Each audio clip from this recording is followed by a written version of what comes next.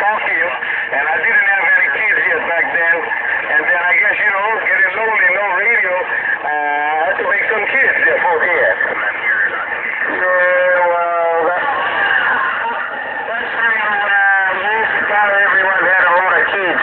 That's why years ago everyone had a lot of kids, because there was no televisions and no electronic devices at them for. Yeah, I